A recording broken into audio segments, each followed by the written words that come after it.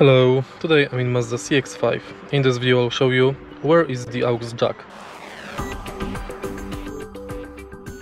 In the beginning take a look in the center of the car and open the armrest. Here is the aux jack. Thanks to the aux jack you can listen to your music from smartphone via car's system.